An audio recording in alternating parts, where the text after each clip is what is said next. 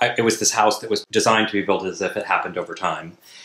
But besides that, I mean, I do love staircases and I love banisters and beautiful details of staircases. So it's um, it's interesting within this house itself. There's several different personalities of different staircases. And that kind of runs along with the fact that they happened at different times.